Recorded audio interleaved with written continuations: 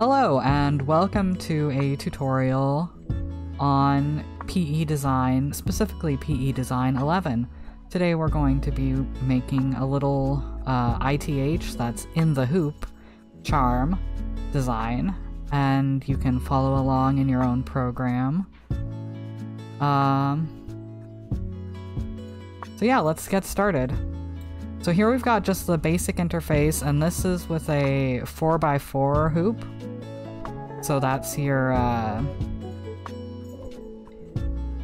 what is it, the SE400, if you've got a little brother machine.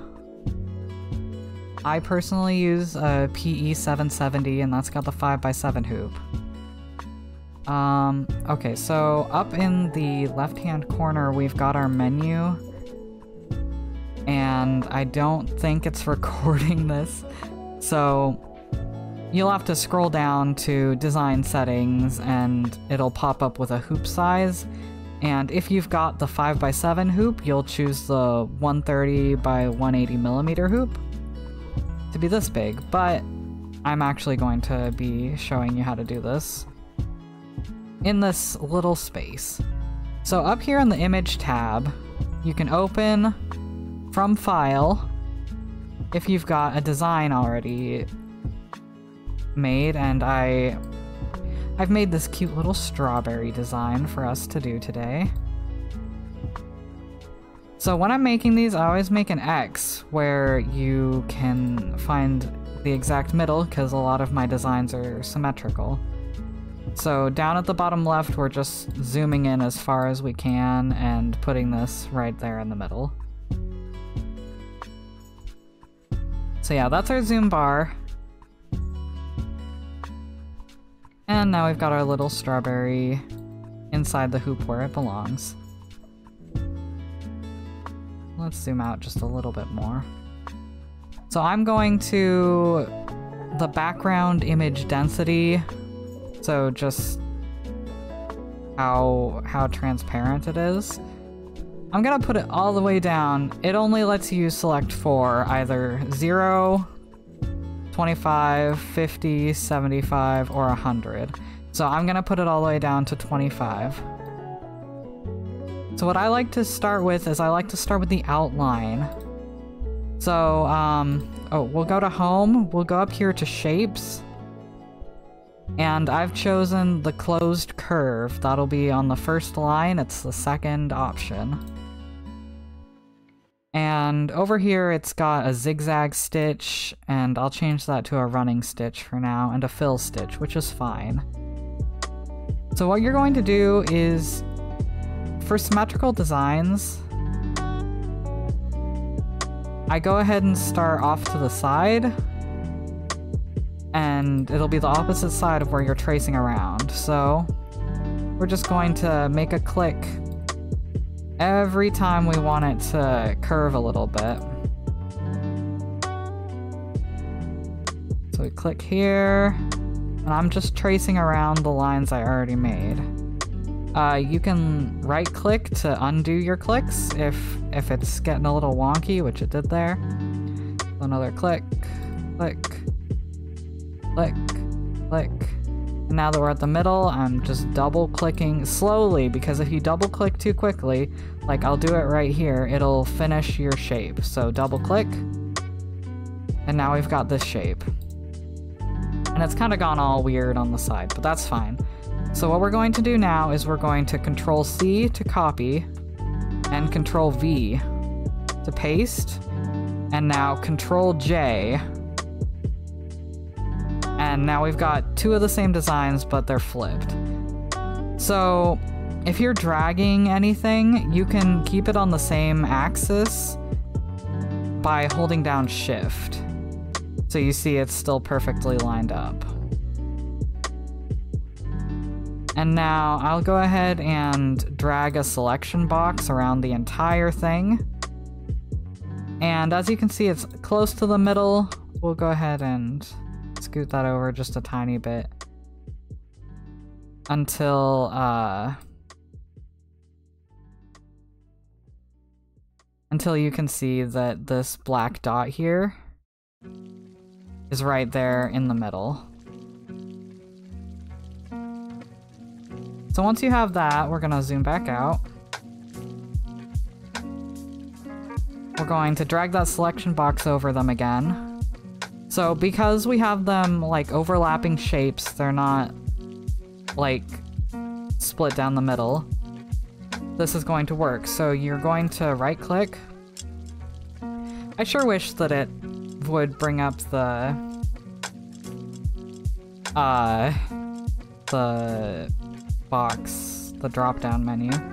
Uh, so you'll have to go all the way down to modify overlap. And if you've done this right, you'll have the options to remove overlaps or merge, and we're going to merge. And now this is one shape.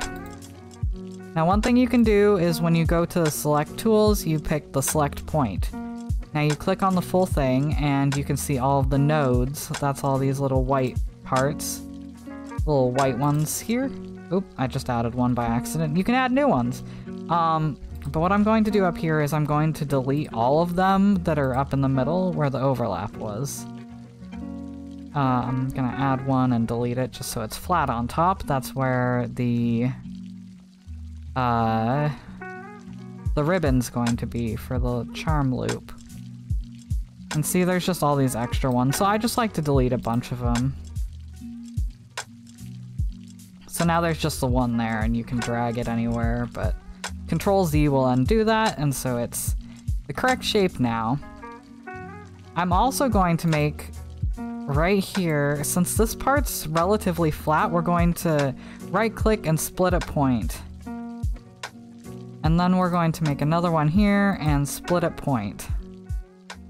So what we've done is we've made two different things. So let's say this one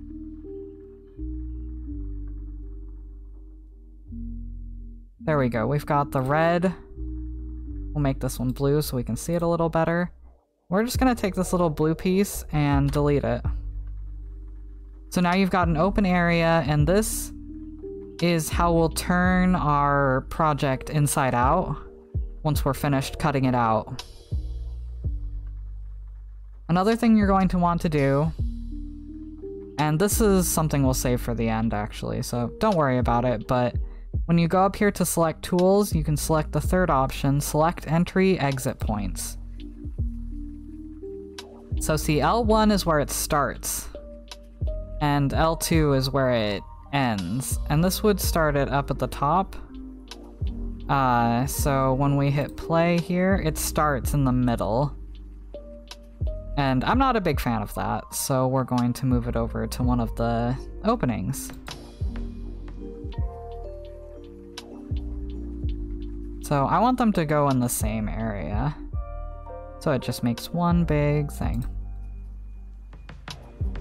Now I'm also going to go over to the left-hand bar here and click Sewing Attributes.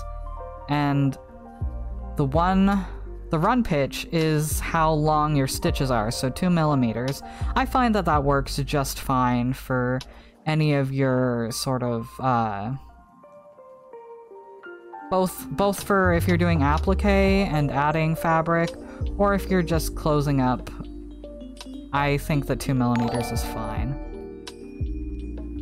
Oh, and uh, Tiny Tired Turtle 98, thank you so much for the follow. Welcome on in. Alright, so run times is how many times it's going to run. Uh, and we're just going to bump that up to 2. So now instead of just one time, you're gonna see it go all the way up here. It gets to the end of it and goes back around. I find that this helps keep it from from opening up easily. Uh, the stitches can come apart if you just do one time, so let's let's be safe. So next, what we're going to do is we're going to start on the applique. Let's go ahead and turn this back up so we can see. We're going to be making the green part. And if you don't know, applique is... We would start this design on red fabric. And applique is adding new fabric on top of it. And I'll go ahead and explain how we're going to do that. Also, thank you, Turtle, for, for the compliment. I love this model too. I've got uh, credits in my in my bio for the maker. I cannot remember them off the top of my head. I've got too many models. Okay, so let's turn this back down so we can just see this. So we're going to go back to shapes, going to go back to closed curve. And we're going to do what we did before. Uh, so I'm starting... Zoom in just a little bit. So I'm starting, uh, I'm, I'm gonna make a little shape to show you. I'm gonna start right here. So that's my first click. My second click is going to be just right on the inside of this line and we're gonna follow that all the way and then we're going to go outside of the red line here because we want the fabric to go past our line here. Otherwise, it is going to not show up all the way. So just giving it that little extra is going to keep everything nice in line. Now I've got this funky shape. We're going to do what we did earlier. Control C to copy, Control V to paste. So now we've got two. Control J to flip it. And we're gonna hold shift and just move it over to about where we think the middle is. Now, to get two different items, or as many as you need, you click on the first item, so we've got the one on on the right. We hold control down, and now we've got the one on the left. So we are holding both of them at, at this point. Now we're going to right click, go down to modify overlap, and merge. So now we've done the same thing. Let's right click, or actually let me see. Uh, okay, yeah, you do have to right click. And there will be two options at the very top, and that's the outline, which is a running stitch, and then the fill stitch, which is like the, the area stitch. We're going to hit not sewn because this is going to be fabric. Let's change this to green. And I'm just going to remove those extra nodes. Oh, it looks like we might not have gotten any. We didn't. No extra nodes. We did real good. Okay, so now what we're going to do is we're going to make sure that this is two run times. Uh, so what we do here is we have put the color, the green color, on top of the red color and it's sewn it. It's kind of hard to just describe, but we would cut out right along this line now. Is we would we would take that hoop, we would remove it from the machine, we keep the fabric in the hoop, but we do cut up around it. And then, once we've put it back in, so we're going to Control C to copy, Control V to paste. Let's make this a different color. So to hold it in place, we're going to use what's called a satin stitch, or in this, we're going to right click, go to where it says running stitch, and hit zigzag stitch.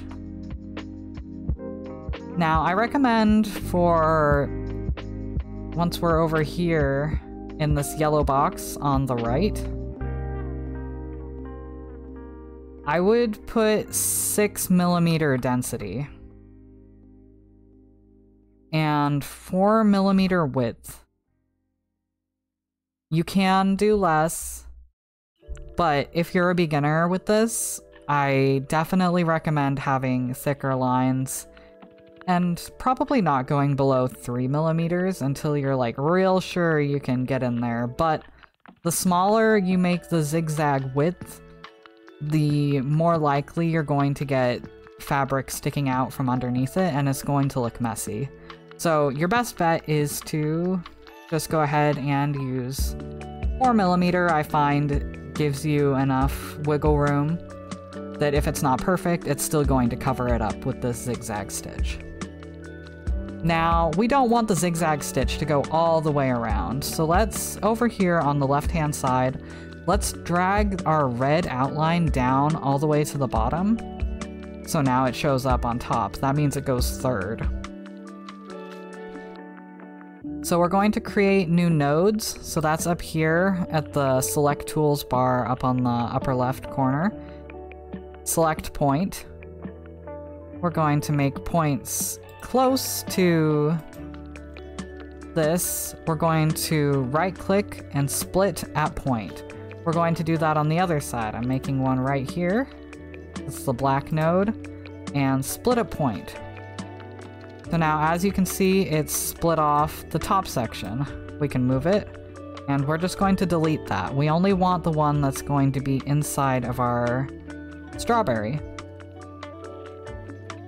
And so now that stitch is going to hold in place the full fabric and it's going to be real nice and sturdy. So let's go ahead and pull up our image again.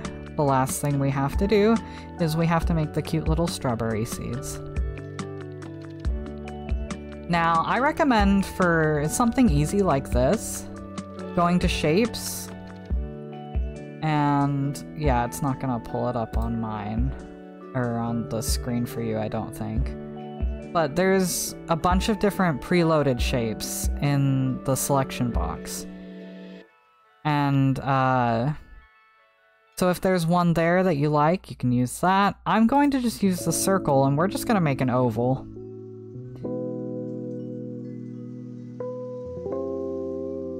Okay, so let's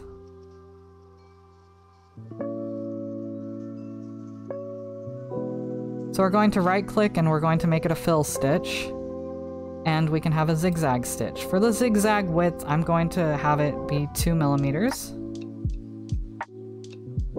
And for this, you can just drag it with the corners and the middles and just stretch it like you would any sort of image manipulation like Photoshop. It's a pretty simple so yeah, so zigzag width 2 millimeters for this outside one. We're leaving the density at 6 millimeters. Now, down here in this blue bar, under sewing is the underlay, and that's what's going to kind of hold the fabric in place and give you a little nicer surface for the embroidery machine to embroider on. And so you can set that to dense, medium, or light. I tend to use light, but let's go ahead and do medium for this one. I'm not really sure I'd recommend dense unless you're embroidering on maybe faux fur or something that's really going to just puff out of there. But medium or light is going to be just fine. Now, for the next part, we've got uh, density. Sorry, it's it's going all over the place here. Um, I like to have my density at 7 millimeters per line. And I find that that makes it so that it, uh, it's covered very well, you're not going to see gaps in it. And I prefer that a lot more, but you can make it less if you want. Uh, if you want to use a little less uh, thread, that kind of thing, that's totally fine. Everybody has their own like secret sauce formula for for their different uh, densities and all of that. Now, direction is the manual straight line. And I usually do that for any area that you need to fill, but you've also got auto, and it'll automatically do it. And so now it's just put it pretty much straight. But let's go ahead and pick manual straight line, and I'm going to set it to zero degrees so that it's going just straight across. The other one I do if it's a different shape, because for me, what I like to choose is whatever is going to be the shortest width it has to go. So I wouldn't want it to be 90 degrees because that would create just these long pieces. So that's why we're going with zero. I think it looks nicer. Let's go ahead and make this... Maybe not that.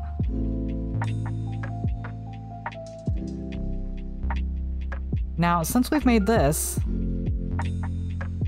I don't see why we can't just control C and control V. And so you've just copied and pasted, and we're gonna move that here. Now, I'm going to go ahead and just do that. You can also use Control D to automatically duplicate it, but it offsets it like this. So if you're trying to get it like on the same area, it can be a little bit difficult. But let's go ahead and do that. Uh, since we've drawn this already, there's a pretty good way to show where it's gonna be. So we just control D, control D. Until we filled out all of these seats.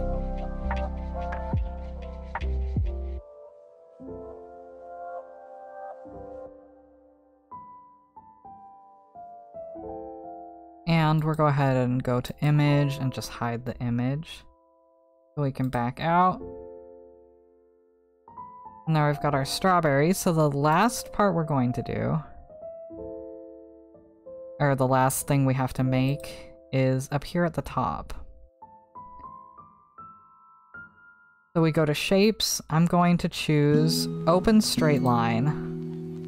And up here, you can see it's set to zigzag stitch. Um, and let's make that blue so we can see it. I'm going to make it a triple stitch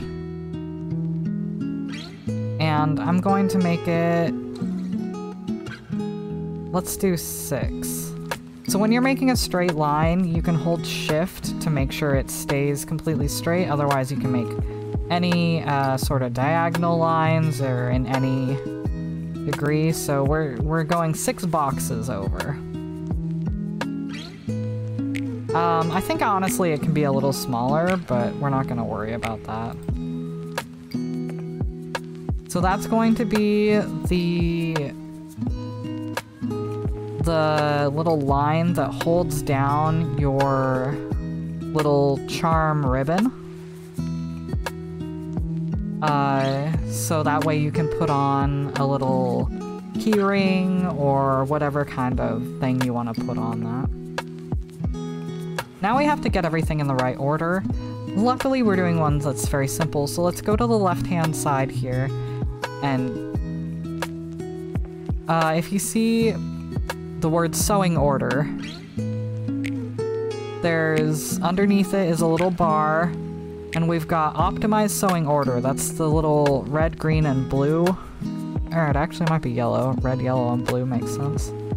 Uh, little boxes, and we're gonna click that, and now it's put all of these together.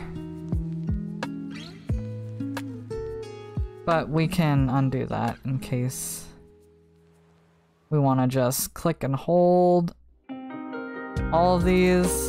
Uh, and let's say... And then I just clicked on yellow, so it's made both the middle and the outlines yellow.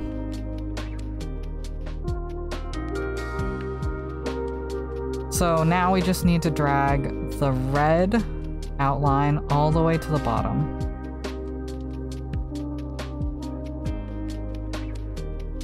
So that way, once you've put in your fabric in the hoop, you'll start by doing the applique.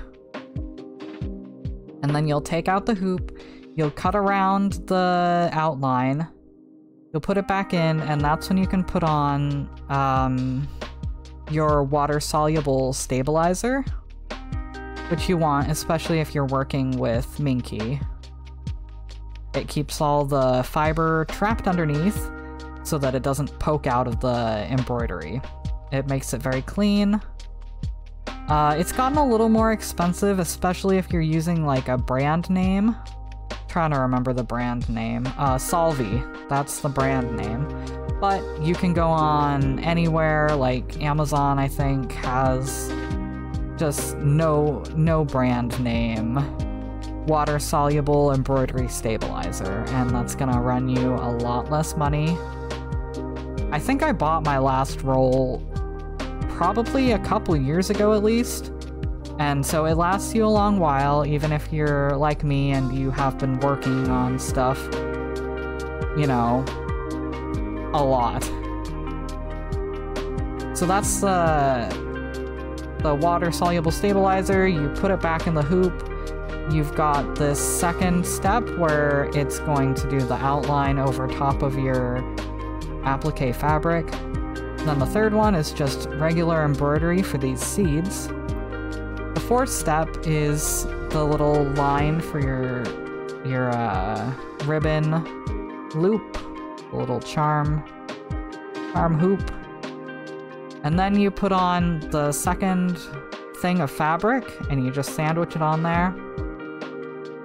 And you run your outline and then you cut it out and flip it over and you've got a whole thing. Um, perhaps after I've uh, gotten my stuff together, I will add a video of actually like making these so I can show that off. But for now, that's that. You've finished a whole little in the hoop charm and you can make it yourself, and it'll be fantastic. If you have any questions, feel free to ask. I'll be putting this on YouTube, and uh, I'll probably reply to comments there, but I just wanted to have this for anyone who's learning PE Design. This is specifically PE Design 11, but uh, it's not any different than PE Design 10. Like, I haven't noticed any differences. I've used both. So I hope this helps. I really do. Thank you for watching.